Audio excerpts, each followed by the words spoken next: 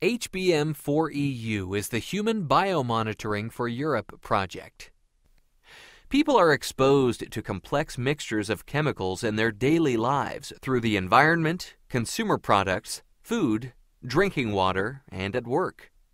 Some people are especially vulnerable, such as children, pregnant women, workers, and the elderly.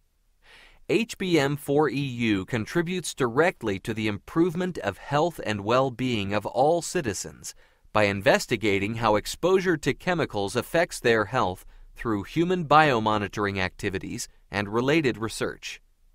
Human biomonitoring determines an individual's exposure to chemicals by measuring biomarkers, which may be the substances themselves or their breakdown products in urine, blood, or hair with the aim of ensuring that the project's research results are relevant to the European public and useful to the political decision-making process.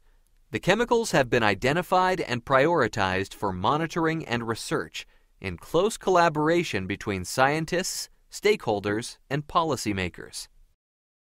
HBM4EU is building a European human biomonitoring platform including more than 100 institutions and policy institutes clustered under national hubs in each of our 28 partner countries.